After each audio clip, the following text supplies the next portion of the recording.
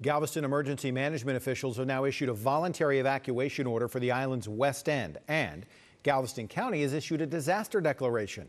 ABC 13's Alex Bozarjian spoke to island officials and residents about their expectations going into tomorrow.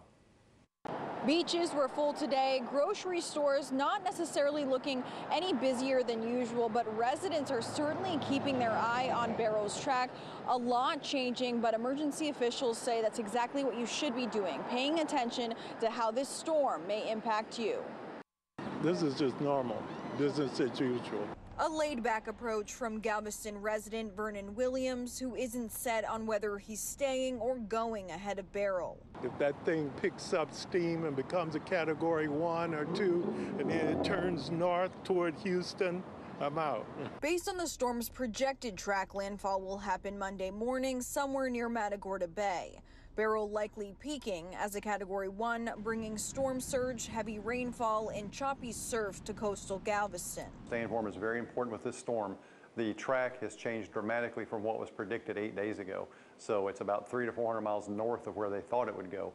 So that's why you got to stay informed, but also make your plan, know what you're going to do should an evacuation be called. Voluntary evacuation orders have been issued only for the island's west end. Adrienne Wiseman has decided to stay put. With two kids at home, loss of power and water are both scenarios she's preparing for. So that's why I got drinking water, and when I get home, I have a big old um, crawfish tub I'm going to fill up with water for flushing toilet or washing hands or anything like that. Galveston County Judge Mark Henry is hoping residents who have ridden these storms out in the past aren't letting down their guard this time. People start to become fatigued with the idea of a hurricane and they start to take them less seriously. That's a problem.